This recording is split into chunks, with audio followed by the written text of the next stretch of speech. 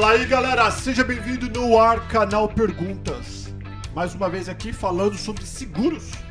E seguro eu já falei várias vezes, vou continuar repetindo. É importante, aqui nos Estados Unidos todo mundo tem. É 99,9999% obrigatório você ter, senão você vai sofrer. As coisas acontecem quando a gente menos imagina, quando a gente menos planeja, a gente vai precisar de seguro. Se você não tiver, Aí você fala, puta, se eu tivesse ouvido o Paulo Paternes, o Paulo, a Mônica, lembro dos vídeos que eles fizeram. Só que eu achei que eles estavam me enrolando. Ou, como aconteceu comigo, que bati meu carro agora há pouco. Falei, graças a Deus que eu ouvi o Fred, porque o Fred mandou comprar um tipo de seguro e foi a melhor coisa que eu fiz. Que eu peguei meu cheque em três dias e já comprei outro carro. Então, por isso que a gente traz esses profissionais, cada um dentro do ramo deles, são profissionais recomendados aqui no, aqui no Orlando que sabem o que estão fazendo, né? Então ouça, aprende e eles estão falando pro teu bem. Se você não quiser ouvir, o azar é teu. Eu faço o meu. Bem-vindo, Paulo e Mônica, mais uma vez. Tudo bem? Olá. Oi, tudo bem? Tudo Muito bem? obrigado pela oportunidade. Tamo junto. Então, ó, hoje nós vamos falar pra você que é empresário. Hoje é 100% pro empresário atual e pra você que tá pensando em abrir uma empresa. Ah, Paulo, mas eu sou pobre. Cara, tu vai vir pra cá, se você não viu ainda, tu vai abrir uma empresa de faxina, tu vai abrir uma empresa de pedreiro. Quando a gente fala empresa, não é uma empresa multinacional gigante. Gente tá falando uma empresa que, re- renda, que, que faz dinheiro. E você vai precisar desse tipo de seguro que nós estamos falando, que eu não conhecia. E eu vou até olhar mais profundo nisso depois com a Mônica e com o Paulo. Que, como que chama esse seguro? Ué. Tem nome específico ou não? Pode ser um seguro de vida é, para um buy-sell agreement, que seria um contrato de compra e venda. Então, se você tem algum problema em relação à empresa, um dos sócios é, vem a falecer ou resolve sair, ir embora, ah, muda de ideia, é um seguro que vai resolver, você vai ajudar você a dissolver essa sociedade. Então, dá, dá, dá um exemplo pra eu entender. Dá um exemplo. Eu sou dono do mercadinho, eu e o Guri, nós somos sócios do mercadinho.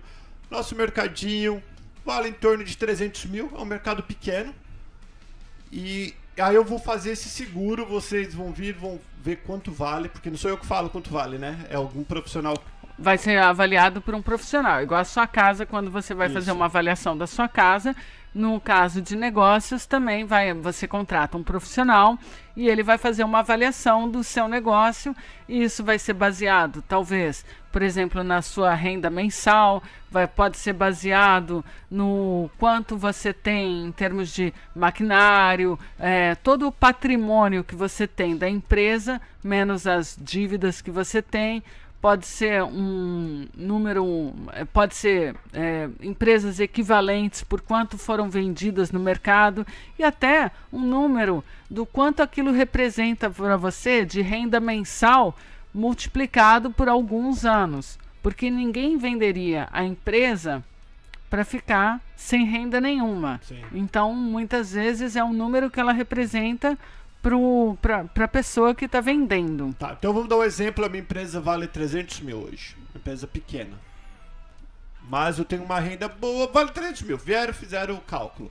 Aí eu vou, aí eu vou falar, Mônica, minha empresa tá aqui, ó. Documento do appraisal. Como fala appraisal em português?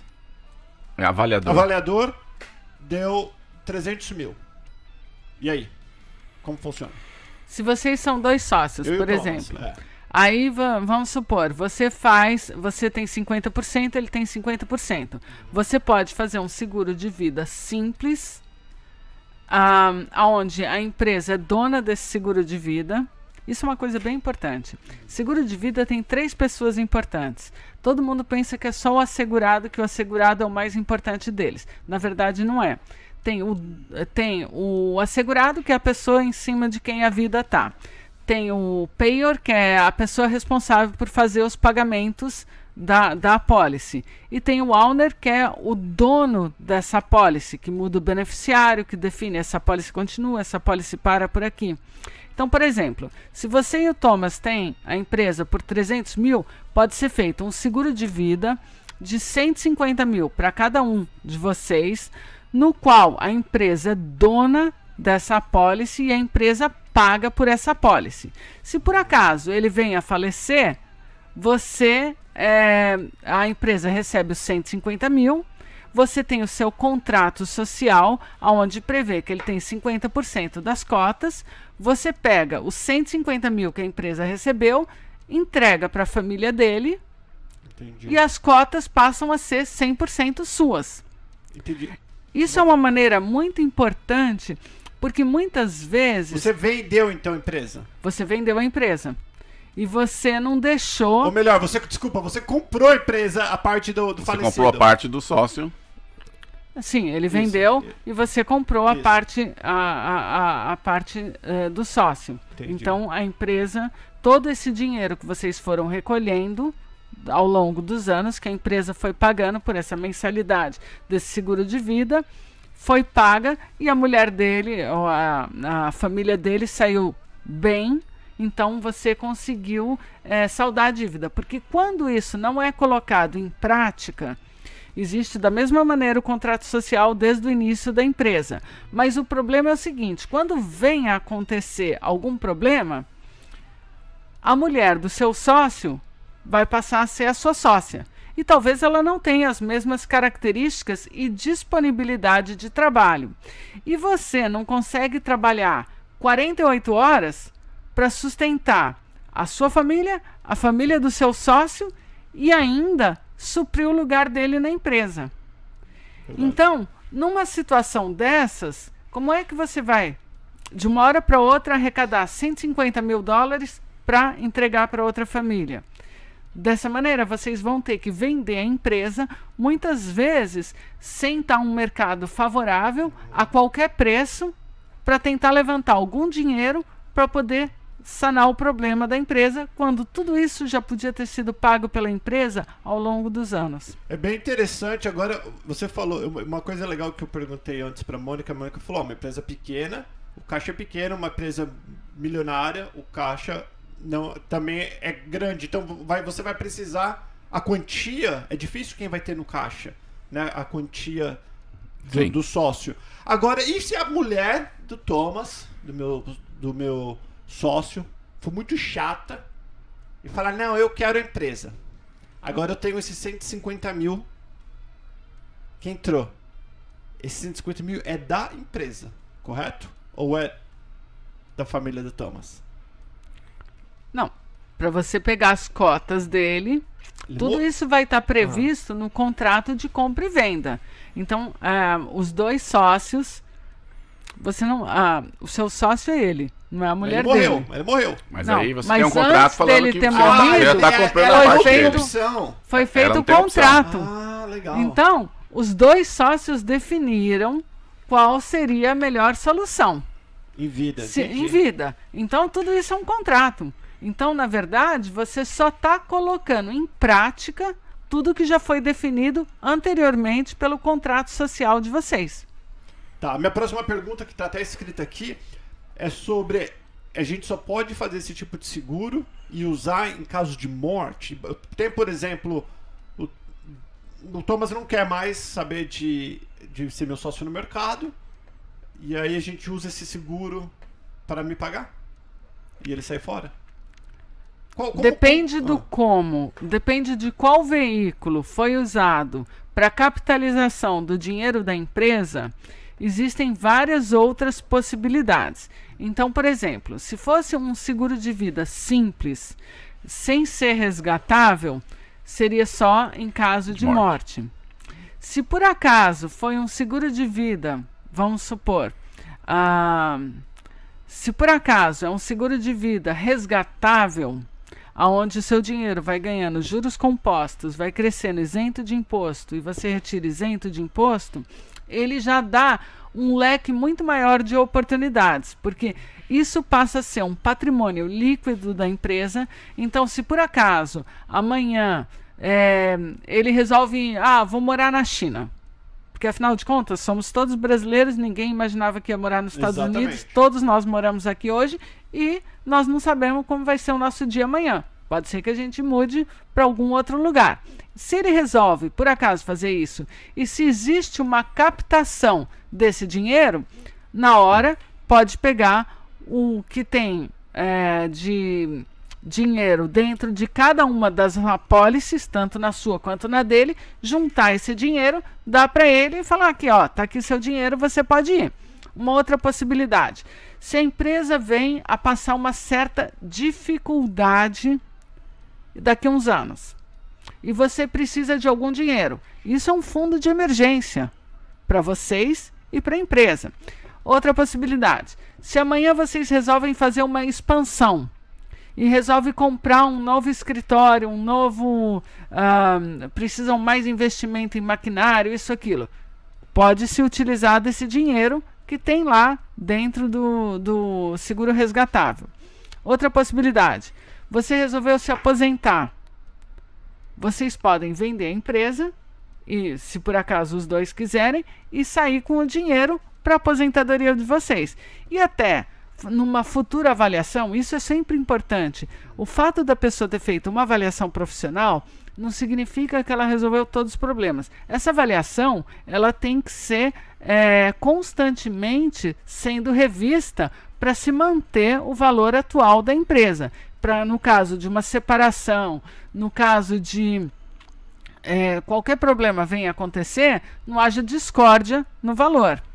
Então, por exemplo, Uh, se por acaso alguém resolveu sair depois que foi feito toda essa reavaliação, vocês têm o, o, capital e nessa reavaliação o dinheiro que tem dentro do seguro de vida ele é, funciona para elevar o valor da empresa, porque ele é um capital líquido da empresa. Ele vai facilitar até para você pegar um empréstimo num banco ou qualquer coisa nesse gênero. Tá, agora qual que é a diferença agora você falou, eu, eu, eu acho super interessante isso daí. Qual que é a diferença de usar um seguro de vida para que é compound, que é composto que fala? Resgatável. É, é isso, Não. esse resgatável, é. que é juros em cima de juros, né? Certo. Que é compound que fala em inglês. É, é. Saber se é compound é interest. É, Qual que é a vantagem de eu fazer o seguro e fazer uma aplicação qualquer, outra? Bom, se você investisse. Não, se, é, é uma pergunta excelente. Se você investisse, se a empresa deixasse esse mesmo dinheiro, abrisse uma poupança. A poupança rende muito pouco e a poupança não é uma operação protegida do governo, aonde o seu dinheiro ganharia juros compostos, aonde ela cresce isento de imposto e aonde você retira isento de imposto. No seguro resgatável, além de você ganhar o compound interest, que seria os juros compostos, você tem essa vantagem, como o número da, o nome da conta do resgatável chama-se Supplemental Life Insurance Retirement Plan, ou seja, é uma conta privada de aposentadoria. Então, ela tem as vantagens fiscais do seu dinheiro crescer isento de imposto e você poder retirar ele isento de imposto. E aí tem, tem o tempo que eu tenho que contribuir para isso acontecer ou não? Você tem um, você determina qual o tempo que você gostaria de contribuição para isso. E, uh, mas isso não quer dizer que você tenha, vamos supor que você resolveu contribuir por 20 anos e de repente no ano 15 você está precisando de 50 mil e você tem 50 mil lá na sua conta, você pode retirar e depois devolver para sua conta, se você quiser, ou não. Entendi. E esse, então isso... você tem flexibilidade de uso. Entendi. Isso que nós estamos falando é somente para esse negócio ou esse é pessoal? Pode, pode ser, ser, pessoal feito, também. Pode ser feito tanto a nível pessoal quanto a nível empresarial. Se for feito a nível empresarial, nós vamos colocar isso junto com o contrato de contrato social da empresa, como o planejamento de compra e venda. Se for feito a nível pessoal, por exemplo, muitas vezes isso é feito como um Executive Bonus Arrangement. Os executivos da empresa dão um bônus no final da empresa, uh, no final do ano, a empresa uh, divide um bônus para os executivos que é colocado nesse tipo de operação. Por quê? Porque financeiramente está ganhando mais dinheiro do que se fossem outras operações no mercado. E eu posso, vamos, dar um exemplo. Eu falei, eu tenho que ter um. Porque isso aí eu estou pensando para mim, eu estou gostando. Não, tô, não, por isso eu estou perguntando, que eu estou achando interessante. Quando eu fizer com você, eu tenho que falar, eu quero pagar até os meus 60 anos, até os 70 anos, até os 50 anos. Como funciona Normalmente você define o tempo do contrato de recolhimento. E o que acontece se eu divorciar, acontecer um acidente, eu preciso levantar esse dinheiro, vou pra China, o que seja. Pode levantar antes, antes a hora que você eu pago quiser. multa, essas coisas. Eu tenho. Não, não paga multa. Isso, esse é o tipo de operação que você pode rescindir o dinheiro e você não paga multa. A diferença é que talvez eu tenha que pagar imposto daí. Ou não? Não, ele é, você pagou imposto. Esse é um tipo de operação que você também não vai ter que pagar. É, provavelmente você pode retirar sem imposto, porque você pagou imposto na entrada. Quando você recolher o seu dinheiro, você, quando você contribuiu para esse plano, seja de aposentadoria, você, ele é o, você já pagou o seu imposto de renda. Então seu imposto, seu dinheiro já foi taxado. Entendi.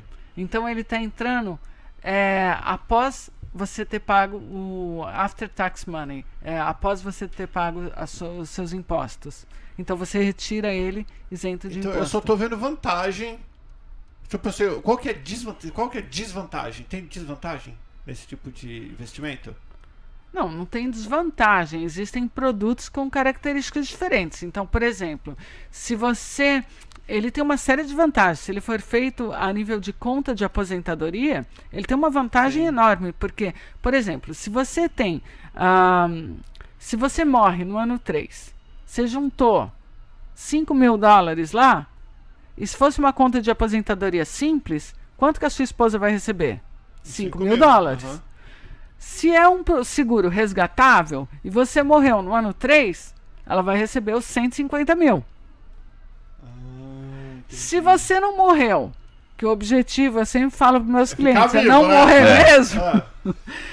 e se fosse um seguro de vida totalmente desmembrado de uma conta de aposentadoria, o que, que ia acontecer? Se você não morreu, aquilo lá foi um gasto que você teve. Porque esse mês você pagou, graças a Deus você não morreu, que esse é o objetivo, mas aquele dinheiro você perdeu. Porque ele não foi ficando um residual numa conta com as ah, vantagens fiscais. Então, geralmente esse seguro de vida que essa empresa dá, quando você sai da empresa, todo aquele dinheiro foi perdido. Aluguel. Aluguel. É, é igual você alugar um apartamento e comprar um apartamento. Você está pagando. Ah. Um, então, quando você compra, você está pagando mesmo um valor igual do aluguel, ou até menos, às vezes, aqui nos Estados Unidos. Mas vai ficando um residual para tá você. E está virando um patrimônio. Vai o aluguel virando... não, o aluguel você pagou, morou, acabou. Perdeu o dinheiro. Entendi. Aí vamos supor, se você ficou é, desabilitado, se você ficou incapacitado, você teve um carro, um acidente de carro horrível e você ficou incapacitado, o que, que vai acontecer? Você é, parou de contribuir, seu dinheiro não cresce mais. Se fosse uma conta de aposentadoria independente do seguro resgatável.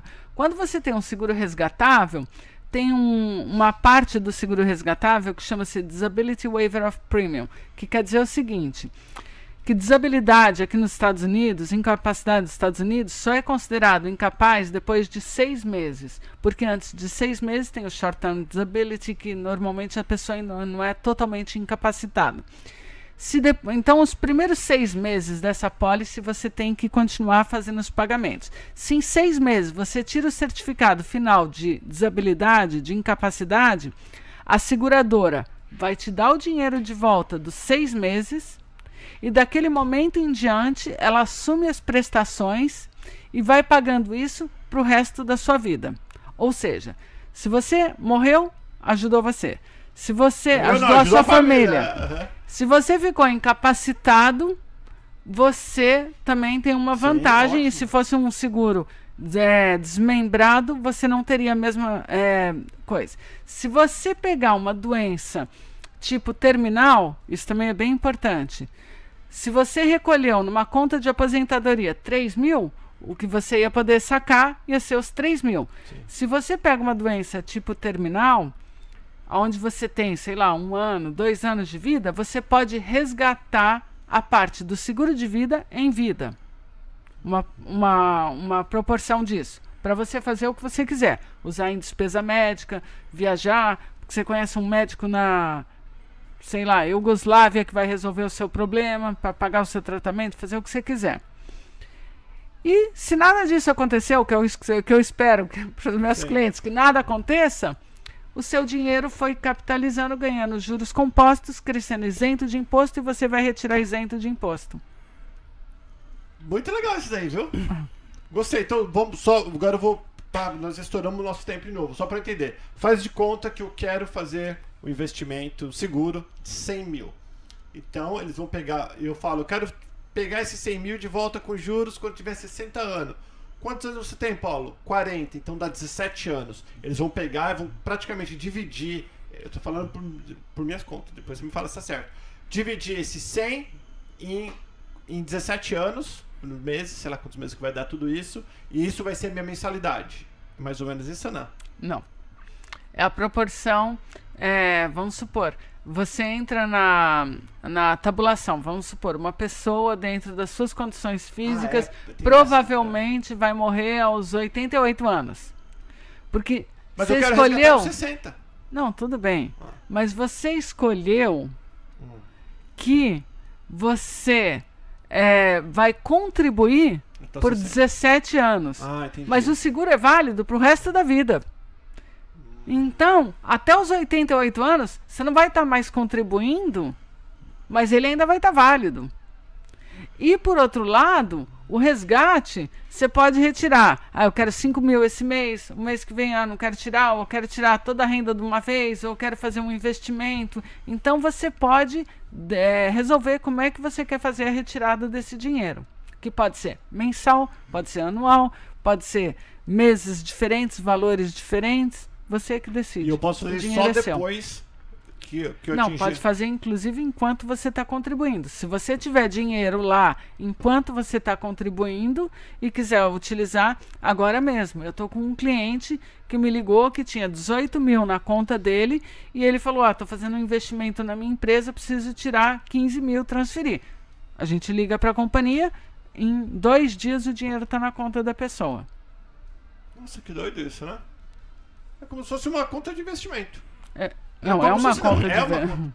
é uma conta de investimento com a vantagem de que ela não oscila de acordo com a bolsa. Então, porque é fixed. Ah, o juro é fixo.